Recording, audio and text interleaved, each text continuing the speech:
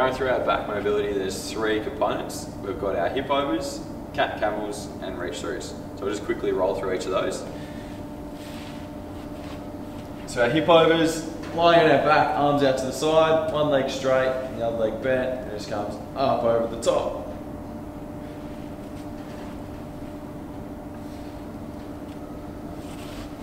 Our cat camel, starting on all fours. We want to think belly button to the sky, head to the floor, then swap over, belly button to the floor, head to the sky. Then our last one, our reach throughs, from all fours again. Become one arm, reaching as far underneath as you can. And open up to the sky.